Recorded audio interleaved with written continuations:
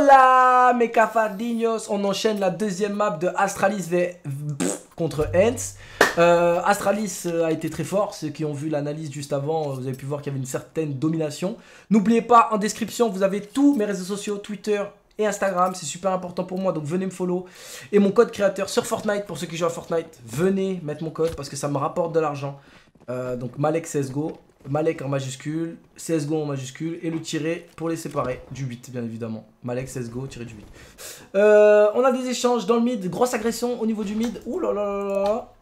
Grosse agression au niveau du mid, comme vous pouvez le voir au niveau de la carte. Euh, Sergei, tout ça. Et ça va même chercher jusqu'à la banane. Ça se fait punir par Device. Device qui en fait deux. Ça puche un peu trop loin là. Ça puche un peu trop loin, on a été naïf. Device qui a super bien joué le coup. Il est en train de... Voilà, Device qui est juste là en train de gagner du temps. On a l'info que le dernier il est là. Regardez tout de suite euh, la map. Voilà, Xipnix qui va récupérer la bombe. Dupré qui reste en, voilà, en sentinelle, j'allais dire. Il le tartine. Merci, au revoir. Superbe round de la part d'Astralis qui maîtrise un peu l'agression des Hens, qui a surpris au début. Tout de suite, on a une réorganisation de la défense où on prend des pauses passives. Device qui panique pas, qui garde son B, qui reste en, passif au niveau de la ligne du mid. Il en punit deux, ça déstabilise complètement Hens, et merci, au revoir. Donc ouais, code Fortnite, tu connais, euh, parce qu'on gagne 5% si t'achètes des V-Bucks, des skins, des passes de combat et tout. Voilà, la cogniance de ces mecs. Voilà, qu'est-ce. Allô? Wake up les amis, let's go. C'est le Major là, on croit en vous, je veux une troisième map. Let's go, Hens Let's go, Hens Non, je suis pour Astralis, vous le savez tous. Je leur suce la vie depuis TSM, depuis l'époque de TSM avec Carrigan et tout. C'est mes frérots. Mais euh, on croit aussi en Hens pour un beau spectacle et pour essayer d'avoir des analyses euh, sur, sur la troisième map Overpass qui est une de mes cartes préférées, vous le savez très bien. Euh, grosse agression à part et tout qui est, qui, qui, qui, qui est réussi. Pourquoi? Parce qu'on est 5 en B, le BPB est pris, CPL, on check quand même un peu tout. Voilà, on est bien. On a les infos désormais. Xipnix qui se repositionne parce qu'il a pris un POC. Voilà, on a les frérots qui viennent l'aider. Dupré le cochon, comme tout à l'heure. Hein, lui, c'est son rôle. Hein. Lui, s'arrêtera jamais. C'est. Hein. Il a le truc. Mais il arrive quand même à être un peu plus, mesuré, j'ai envie de dire, qu'un Apex pour comparer. Parce que bon, c'est vraiment deux joueurs identique, pas similaire, c'est carrément identique. Euh, TSM, ouais, pour ceux qui se rappellent, TSM, euh, l'époque de Cajun, euh, Carrigan, Device, voilà, c'était Dupré, c'était la Champions League, Exipnix, et c'était la Champions League, je l'ai kiffé de fou. J'ai beaucoup appris avec ça, après ils ont kické Cajun, ils ont pris bah, Magisk, après ils ont pris ils ont kické Carrigan, c'est là qu'ils ont fait venir Glaive. Enfin, ils ont fait pas mal de changements, mais ouais, c'est à l'époque de TSM il y a un moment. Bref. Et Inferno qui est le choix de carte d'Astralis. C'est pour ça que Hens commence c'était dessus. On a une prise de la banane bien définie qui met en échec totalement la prise de position des Hens qui voulaient agresser la banane. Comme vous pouvez voir sur la carte, ils sont 4 côté B, il est solo côté A. Et le choix est clairement pas réussi. On a une reprise de la banane. Voilà, on est en anti, on est en anti reprise, on, on a des échanges de kills. Est-ce qu'on va, on va être naïf? Je pense qu'on va être naïf quand même. on va être naïf, c'est obligé. Ils ont fait 3 kills, c'est obligé d'être naïf. La balance est rétablie côté Sergei, c'est magnifique ce qui vient d'être fait. Oh là là, la flash Oh là, et le, Dupré qui fait le move. Oh, c'est magnifique. Voilà. Et en plus, je pense que là, Sergei, il va même pas s'attendre à ce qu'il y en ait un mec spawn CT qui arrive. Il y a tête de, tête de lavabo qui veut faire la rotation, mais non, il a peur parce que ça temporise. Sergei, lui dit ça temporise. Dupré qui va vider. Je, je pense que Sergei ne va même pas l'attendre au niveau du spawn. Voilà. Sergei, ah si, c'est bon. Ça y est. Là, il se dit, au timing, c'est moyen. Donc là, il faut qu'ils synchronisent leur plan de jeu, tous les deux, que Xipnix, ils attaquent ensemble. Donc là, Xipnix, il smoke le spawn pour, mettre un peu de bait à Sergei. Voilà, on a l'info. Voilà, Dupré maintenant qui doit attendre. Il lui met la flash. Et superbement joué de la part de Astralis. Comme vous pouvez le voir, on est en 2v1. Ils synchronisent leur plan de jeu. Vas-y, j'arrive. Ok, je smoke. J'essaie de faire des décales, de ci, de ça.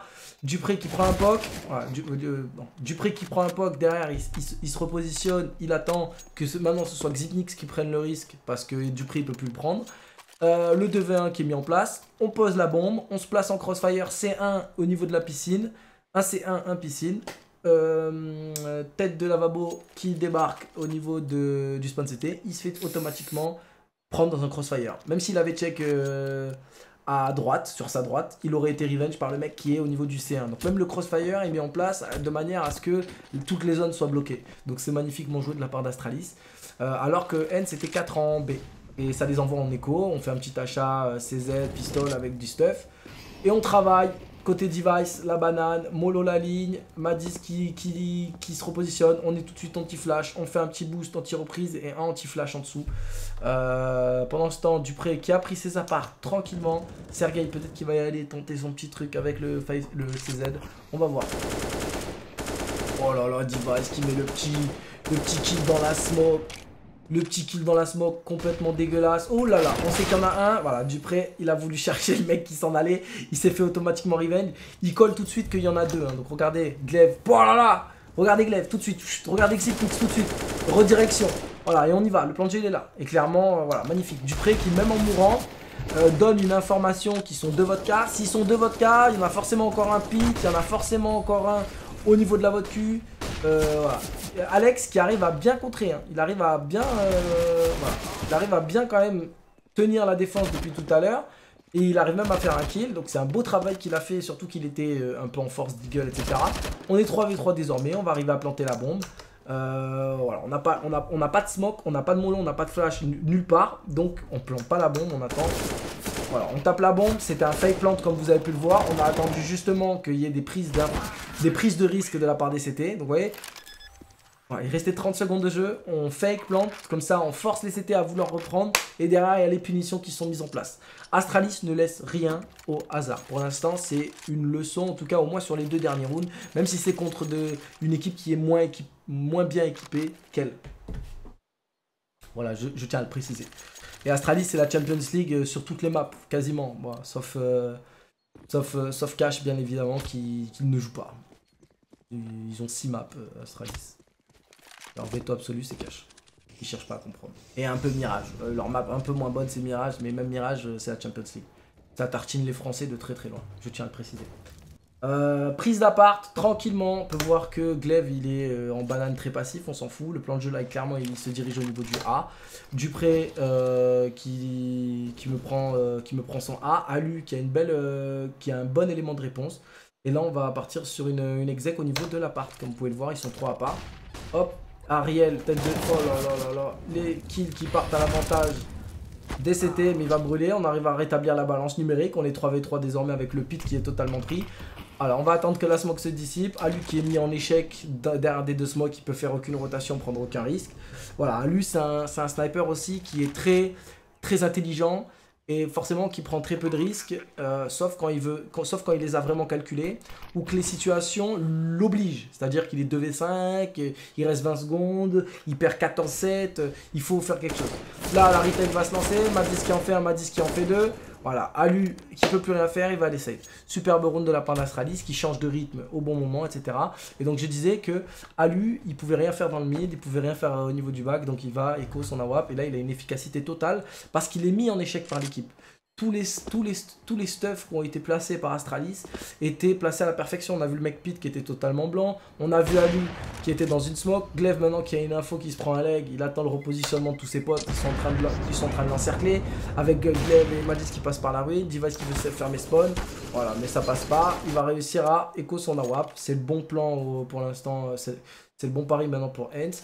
On est à 5-0. Astralis qui maîtrise pour l'instant tactiquement tout ce qu'ils sont en train d'entreprendre. Et clairement, là, c'est compliqué. Préhens, pour moi, euh, Inferno, ils sont pas bons dessus. Ils sont, même s'ils ont battu Navi et tout en overtime, tout ça, ils sont revenus. J'ai trouvé que c'était Navi à la fin qui jouait très mal, euh, avec Zeus qui avait complètement throw et tout. Euh, vous aurez l'analyse de toute façon sur YouTube, ou alors elle est déjà sortie, j'en sais rien, au moment où vous verrez cette vidéo. mais pour moi, Hens ne joue pas très bien. Genre, il la joue bien, mieux que les Français, mais il la joue pas au top du top. Je tiens à le préciser. Euh, aïe aïe aïe, le petit boost qui va faire mal. le petit boost qui fait mal, ils ont entendu le step.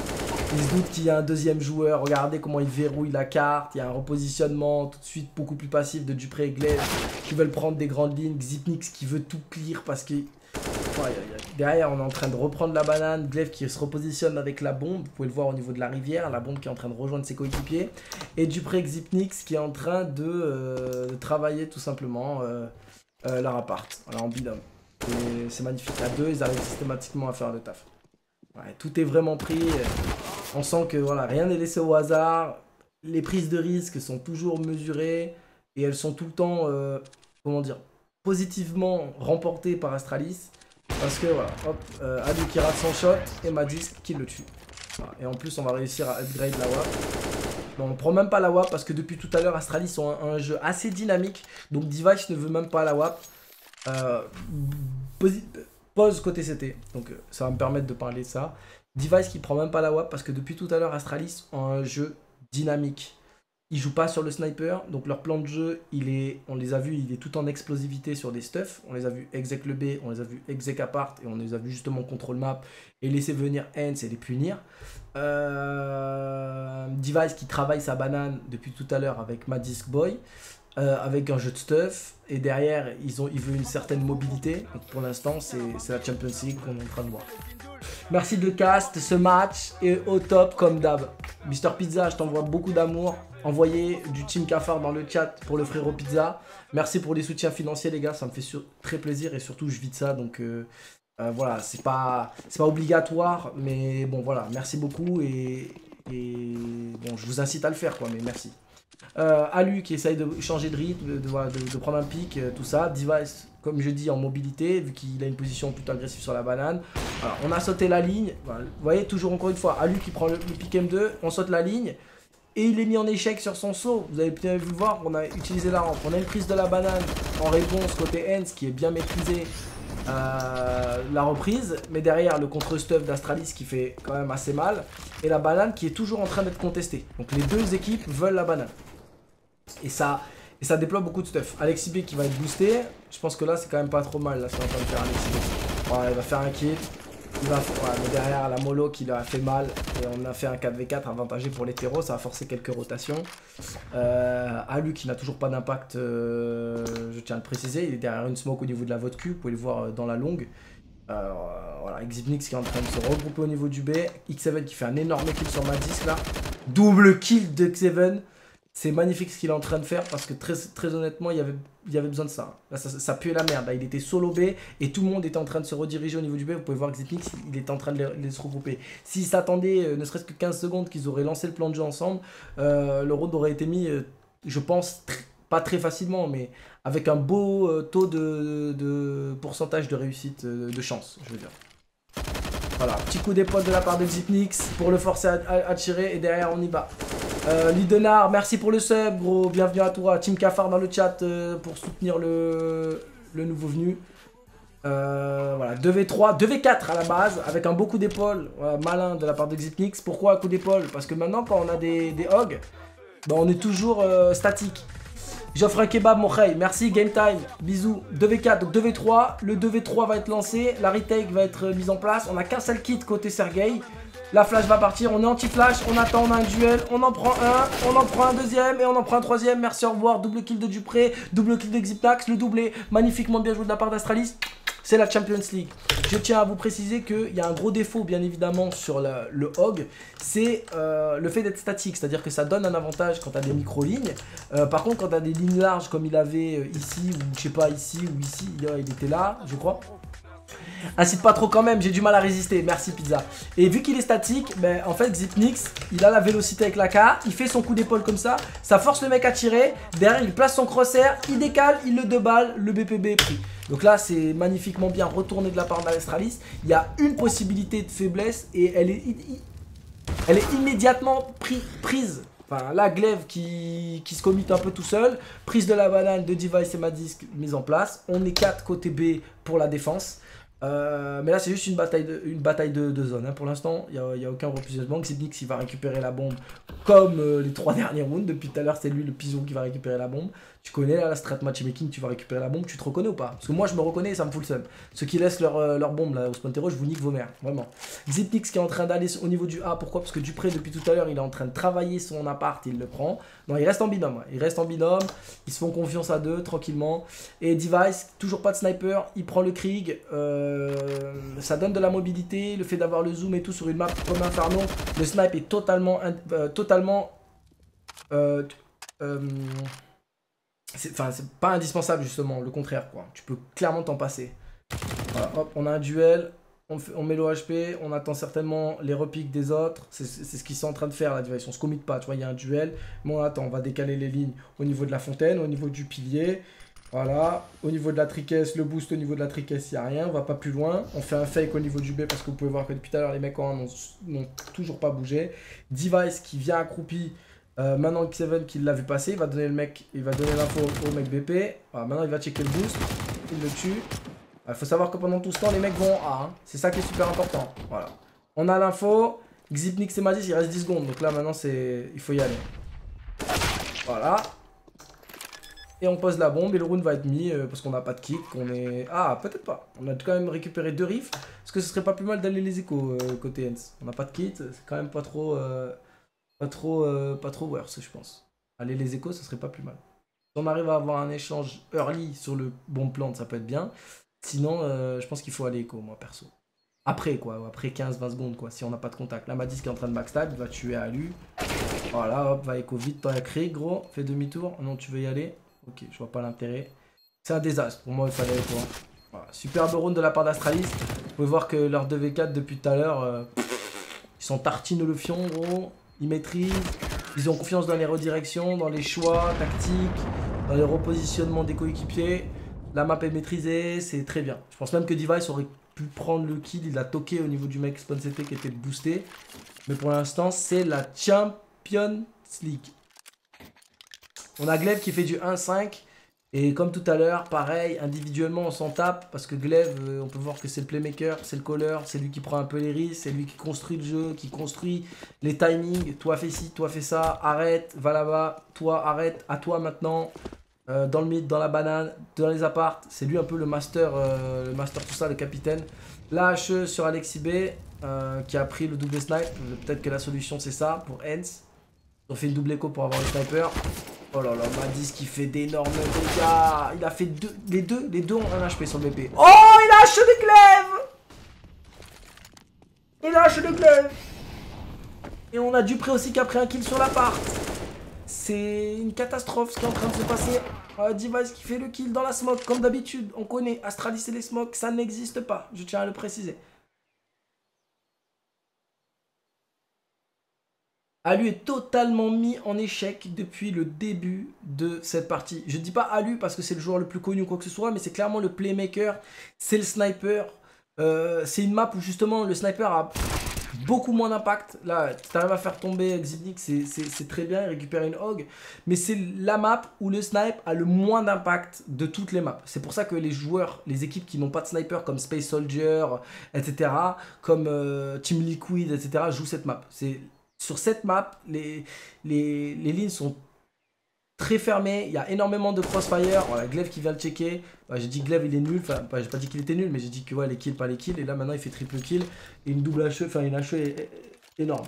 Euh, Liquid par exemple qui n'ont pas de sniper. Enfin c'est Nitro le sniper, mais c'est pas lui le main snipe. C'est euh, ben voilà quoi. Euh, bah, ils jouent Inferno par exemple, ils n'ont pas de difficulté à tartiner tout le monde et, pas mal d'équipes le font aussi.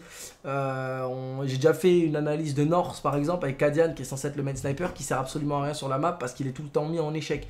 Les snipers sont assez prévisibles sur, sur cette map. sauf quelques-uns qui arrivent vraiment à changer leur timing, changer leur positionnement, se repositionner de manière à être beaucoup plus surprenant.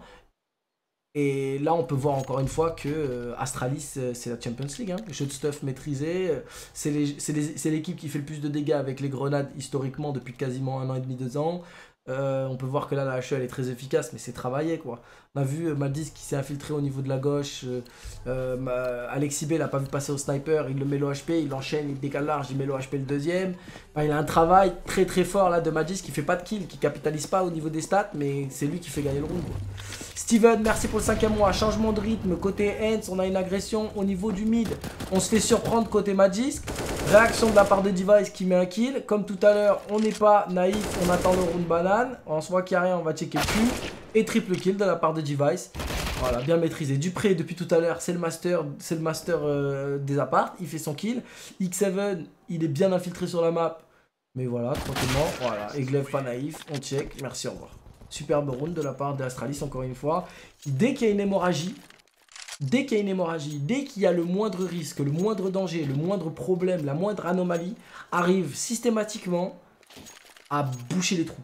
Genre, il y a un danger potentiel ici. Ok, je me repositionne. Il y a une justesse dans leur, dans leur repositionnement.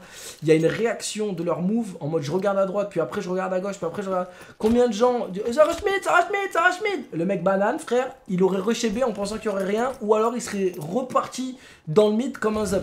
Et il serait mort de dos de la banane. Là, Device, tu vois bien que ça fait deux fois qu'il est dans cette situation-là, et deux fois qu'il a une maîtrise de, il est, voilà, ses choix sont maîtrisés quoi. Il, a une maîtrise de ses mouvements parfaite.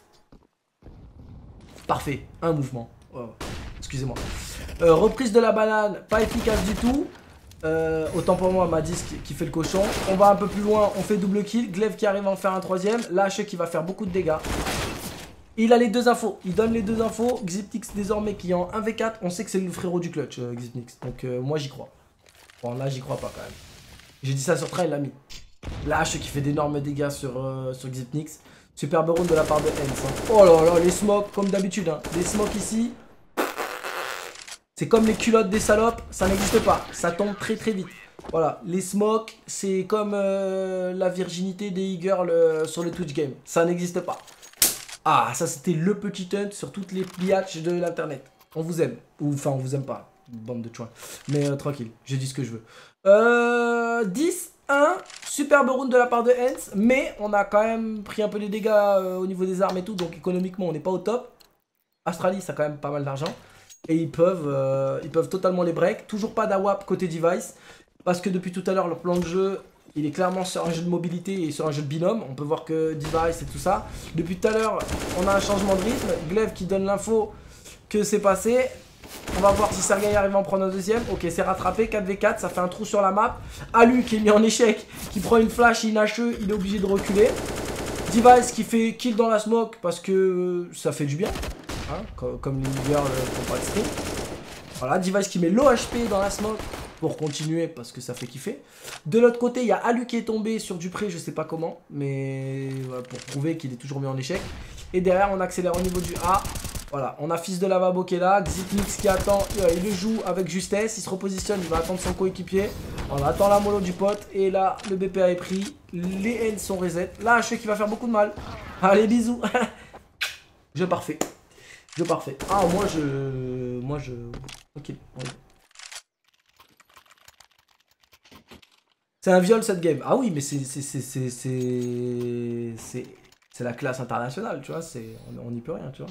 Pareil, il y a une hémorragie au niveau du mid. Glaive qui se fait pique, il y a une faiblesse au niveau du centre de la map.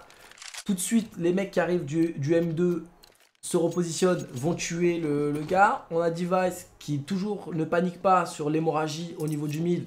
Il bloque sa banane, il fait des dégâts sur la banane. Enfin, c'est incroyable. Là, on a un changement de position avec Alu qui va B parce qu'il pue la merde depuis tout à l'heure en A. Et Alexis B qui est B normalement et qui maintenant lui va en A. Dupré qui se fait tartiner euh, parce qu'en fait le problème c'est pas Alu, c'est Astralis qui est trop fort et qui les met en échec. Xipnix qui va attendre la 3, 2, 1, t'es mort. Oh là là là là là Oh là là que c'est moche Il a réussi Je t'aime Xipnix, je t'aime Astralis, c'est la Champions League. Astralis, c'est la Champions League. Astralis, regarde les tutos Malek. Astralis. Ah oui, oui, gros. Euh, bon, je sais pas quoi dire. Hein. Ce match est... est un viol consenti. Est-ce que tu l'as vu venir ce vocabulaire? Tu vois, tu vois j'ai conjugué le verbe, tu vois, en mode... Euh, tu vois ou pas? À la troisième personne et tout, bam bam, tu l'as pas vu glisser celui-là. Hein? Hein? Tu l'as pas vu venir celui-là. Dis-moi la vérité. Tu l'avais vu venir ou pas? Hop là, je sais qu'il va faire beaucoup de mal. Voilà, Divas qui en fait un, Divas qui en fait deux, 3, 4 et 5 Ah non, Glaive lui a volé. Bon bah les couilles, c'est un ace de Glaive, euh, de Device. Ça c'est un vol. Normalement tu te fais kick de l'équipe pour avoir euh, niqué un kill comme ça. Zoom, merci pour les beats poto. Je t'explique, un vol de kill comme ça, c'est comme si tu parlais à la meuf de ton pote. C'est... C'est carton rouge, hors jeu, tu retournes au vestiaire frère. Concrètement, c'est illégal. Vous le dis, c'est illégal. Code MalexSGO, n'oubliez pas sur Fortnite, tous ceux qui peuvent me soutenir, on touche de l'argent là-dessus, donc ça fait très plaisir. Les réseaux sociaux en description, Twitter, Instagram, les réseaux où je suis le plus actif, où je réponds vraiment à tout le monde. Envoyez du lourd, screenez-moi les codes MalexSGO, les pioches, tout ce que vous achetez, et on retweet ça et on inonde le YouTube Game. Le spray control. Ouais, t'as vu, vous avez tous le seum là contre, contre Glaive. Dites la vérité. On a tous le seum contre Glaive un peu là maintenant. Moi, depuis tout à l'heure, j'étais content. Ouais, statistiquement. Ouais, euh, il fait le. T'es un fils de pute, Glaive. Je te dis tout de suite. Carton rouge. Carton rouge. Oui, monsieur. Rien à foutre. Mhm. Zoom. Hop, ça part de là. On a une petite info. Voilà, Glaive Device qui est toujours hein, en activité, en, en, comment dire, en mobilité. Hein. C'est ça que ça permet aussi. Enfin, l'AK Device qui prend pas le sniper, vous voyez bien qu'il met beaucoup de dynamisme. Il, ça lui permet de prendre beaucoup de risques. Alors qu'à la WAP, il serait là à tenir les lignes. Là, maintenant, il y va, il travaille un peu à la YEM. Il a pas peur. Là, ils font croire qu'il est tout seul. En gros, faire beaucoup de bruit. Et là, ils vont lancer toute l'exec en B, en fait, depuis tout à l'heure. Voilà, parce que Device, depuis tout à l'heure, il fait ça de mettre de l'activité. Parce que là, tout de suite, ils y vont. Et ils vont se faire tartiner. ils vont attendre la smoke, tranquille.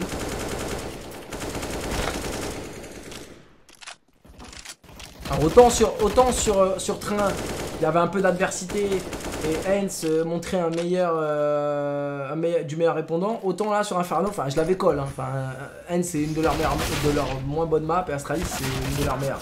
Voilà, viol, viol. Glaive, nique ta mère, gros Laisse la device un peu Non, superbe, superbe. 14-1, ça va partir en, tartinade. Zipnix qui va attendre. Ouh là là. Voilà, deux balles pour toi, Alu tous mis en échec. Tous les CT sont mis en échec. On va pas s'en. Bon, Alu est 3-13. Mais euh, tous, les CT là, c'est. Enfin voilà. Ah, Xipnix qui enchaîne, Dupré qui enchaîne, 14-1, on passe au, side CT. Euh, Inch'Allah, il y a un petit euh, couteau, un petit pistolet qui part et merci au revoir, belle victoire de, Astralis qui mettra sa son troisième championnat de major et la, et la deuxième équipe, je crois, à faire un back-to-back, c'est-à-dire à remporter deux majors de suite. Il semble qu'il y a Fnatic qui a fait ça. Il me semble que euh, il y a aussi SK Gaming qui l'a fait avec euh, Luminosity SK Gaming quand ils ont fait leur changement de, structure, les Brésiliens et Coldzera et tout. Fnatic, SK et Astralis qui sera la troisième équipe à le faire. Où je crois qu'il n'y a pas eu des back-to-back. Enfin, historiquement, je crois qu'il n'y a pas des bails comme ça. Bref, si quelqu'un peut aller chercher les informations qu'on confirme ça, que ce soit sur YouTube.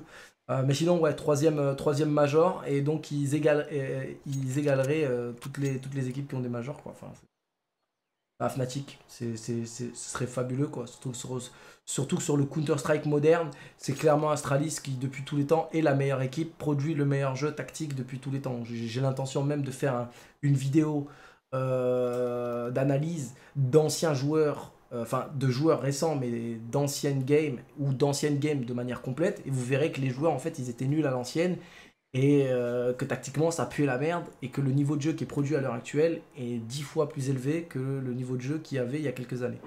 Et qu'on hype des joueurs, euh, même des Français, euh, alors qu'ils sont mauvais actuellement et qu'avant ils étaient mauvais. C'est juste que tout le CS mondial était mauvais avant, n'était pas aussi sophistiqué, n'était pas aussi professionnalisé, donc voilà quoi. Vous avez compris. je tiens à rappeler Twitter, Instagram, s'il vous plaît, venez me, me follow, c'est important. Ceux qui me connaissent là sur le stream, qui sont pas abonnés à ma chaîne YouTube, n'hésitez pas. Il y a les replays comme ça de game, d'analyse et tout. Euh, plus des tutos et tout que je fais hors stream. Donc euh, voilà, n'hésitez pas à vous abonner sur YouTube. Euh, et ceux qui jouent à Fortnite, voilà, ceux qui dépensent un peu des, des, thunes un peu sur Fortnite avec les skins, les passes de combat, tout ça. N'hésitez pas dans la boutique, vous pouvez en bas à droite, il y a marqué soutenir un créateur. Vous, cliquez dessus, vous mettez Malek CSGO tout en majuscule avec un tiré du 8. Malek-CSGO. Euh, et on touche 5% sur tous les achats que vous pouvez faire. Et euh, j'ai quasiment 2500 personnes qui ont mis mon code. Donc euh, je sais que je l'ai spammé à fond. ça met la daronne à l'abri. Donc c'est aussi pour ça qu'on le fait. Et euh, donc merci à tous ceux qui ont répondu présent là-dessus parce que 2500 personnes alors que je l'ai depuis deux semaines, trois semaines, c'est lourd de fou les amis. Merci beaucoup. Merci pour les vidéos Malek. Continue comme ça et à bientôt la daronne en lambeau. Voilà, la daronne en lambeau ou pas? Voilà, merci. Tu nous as manqué à Lyon ce week-end. Oh là là, Ouned, je te, je, te, présente mes excuses. Voilà, tu vas finir sur YouTube, Ouned. Je te, je te déclare mon amour. Ouned, Flo, euh, qui est le président de l'Epsilon, la LAN à Lyon que je n'ai pas faite ce week-end. Euh, parce que, parce que j'ai des frérots qui m'ont lâché, tout simplement. Mais sinon, ouais, je viendrai. C'est une des meilleures LAN, une organisation hors norme. Euh, une de mes premières LAN, toujours bien accueillie par le staff, qui m'a offert à manger euh, euh, des crêpes au Nutella et des boissons, alors que j'étais un gros clochard, que j'avais pas d'argent il y a des années de ça. Donc je te remercie du fond du cœur, Flo.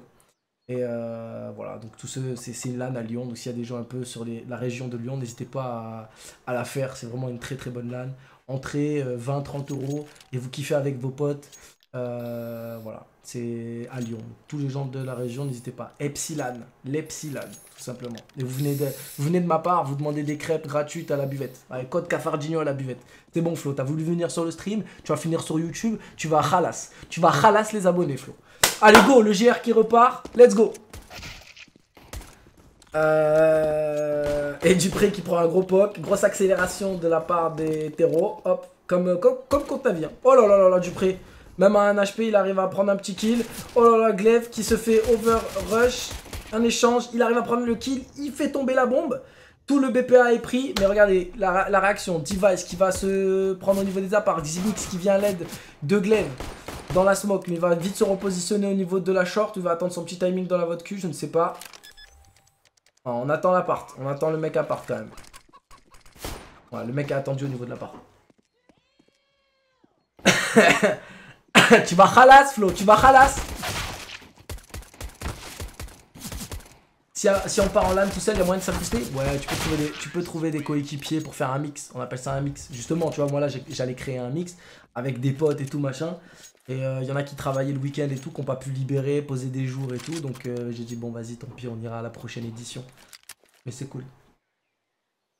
Euh... PTDR les gens. Ouais mais la cote à 1 contre 99. Non c'est pas une cote à 1, c'est le nombre de gens qui ont voté pour les Pick'em Challenge. Et en gros il y a 99% des votes qui sont allés pour Astralis, ce qui est logique. Voilà, et là on a Hens qui met le GR et on survit. Et on survit, on y croit. On y croit les gars Go Hens Avec euh, Ariel, le fils de la vaisselle. Voilà, toujours pareil, on essaie de rentrer dedans. Je sais pas si c'est un choix tactique. Oh là là, Dupré qui fait d'énormes dégâts. Il fait un kill, il en met un low HP. Merci. Merci Bat pour le follow mon pote. Voilà, derrière il est vite rentabilisé. On est en 5v3 désormais. 4v3, 2v2, 2v1. 2v2, les kills qui sont faits. 1v1 et le clutch ministère. Oh dommage, il avait plus de balles. Oh là là là là. C'est le, roi du clutch, il aurait pu faire très mal. La cote était à 3,94 pour Heinz. Ah, mais moi, de toute façon, j'ai parié à Astralis, hein. Je te dis tout de suite. C'était, il y a les parieurs, il y a ceux qui connaissent un peu le jeu, qui voient un peu tactiquement un peu les trucs, les possibilités. Avec la profondeur de map d'Astralis, euh, j'avais call déjà les veto avant même que les veto arrivent. J'avais dit que ça allait jouer sur euh, train overpass, euh, inferno et j'ai rajouté Nuck. les 4 maps, tu vois. En gros, 4 maps sur les 3 potentiels. Et j'ai eu raison à 100%. Double mollo et on agresse encore une fois sur le mid. Pour l'instant, le rythme est, endiablé côté N, c'est-à-dire qu'on essaie de se remettre en, on essaie de se remettre dedans. Et voilà, on rush, on court, on se remet dedans. Euh, on met du rythme, on veut se mettre en confiance, on va venez les gars, on, rush, on leur rentre dedans, pas de tactique, euh, on repart sur les basiques, euh, on met pas de headshot depuis tout à l'heure, tu vois. Donc là, concrètement, les trois rounds, pistole, anti-écho et là la deuxième anti-écho sont clairement mis en place de la même manière, à mon avis, c'est clairement pour faire, ça. Voilà. Mais à lui qui se fait poke à l'USP derrière ramassé à la HE par Magisk. Donc tranquille. Merci à tous d'être là, les, viewers. Ça va être, c'est cool. On, vit une, belle leçon de Counter-Strike. C'est pas une belle finale parce que euh, bon, j'aurais aimé plus d'adversité et un échange en trois maps. J'ai aucun espoir que Hens come back, je vous le dis tout de suite. Mais, euh, je suis content parce que ça fait une bonne analyse d'Astralis et euh, une belle leçon pour tout le monde, tu vois, en mode... comme ça, vous voyez le, un peu l'écart qu'il peut y avoir entre telle équipe et par exemple les françaises que tout le monde a, l'habitude de suivre et j'ai envie de dire de sucer alors que pour moi euh, ils sont pas voilà c'est pour ça que je suis plus hypé par les équipes françaises depuis très très longtemps euh, genre le travail n'est pas du tout fourni quoi gros round et là Device qui prend le sniper hein. donc tout le side il l'a pas pris et là, on prend le sniper. On a une grosse agression banane. On pompier, on traverse. On est en train de se faire surprendre côté Xipnix. Glaive qui fait le double kill. Là, ça, ça anéantit les espoirs. Ça anéantit les espoirs. Glaive qui met ça HE, qui fait beaucoup de dégâts. Euh, non, pas du tout beaucoup de dégâts sur Alu qui était déjà l'OHP. On est en 3v4, 3v5 désormais. Voilà, Xitnix qui a le contact. On a plus de stuff par contre. On a plus de stuff côté, euh, CT. La défense là, Xitnix et Device qui a fait la rotation depuis la vote Q pour pick. L'accélération A, Madis qui est en train de jouer son petit pick. Il met deux balles, Axe 7. magnifique. Magnifique défense euh, individuellement pour l'instant ça répond présent côté Astralis hein. Ça s'est fait rentrer dedans 3 rounds euh, et Dupré qui finit. Ça s'est fait rentrer dans 3 rounds, Mac 10 et tout en écho. Euh, Astralis, premier round armé. Euh, Glaive qui fait double kill. Euh, Device qui fait la rotation pour les aider parce qu'ils étaient mis en difficulté quand même. Ils étaient moyens. C'est ça là. C'est là que je veux vous montrer la perfection. Elle est là. C'est-à-dire que c'est des mecs qui sont en 5v3. Il y a 14-4. Il y en a un qui est l'OHP ici. Il y en a un qui est l'OHP ici. Combien de fils de pute de français auraient décalé là et là pour le duel? Combien? 99,9. Là, eux, ils se cachent. Ils attendent la rotation de Device. Device, il pique. Il fait le kill. Vous vous rendez compte de la, maîtrise de, soi pour pas, pas être gourmand à ce point? C'est... Même là, par exemple, où tu vois un round quasi parfait, tu dis vas-y, individuellement, ils étaient forts. Tu sens qu'il y a une part de... Part quand même de tactique, de call, de synchronisation des gens. Une défense bien coordonnée.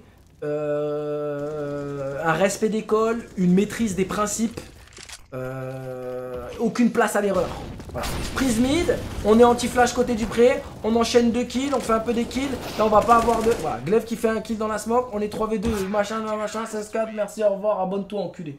Abonne-toi enculé Et merci. Abonne-toi enculé euh, C'était magnifique. Ciao les gars sur YouTube. Abonne-toi enculé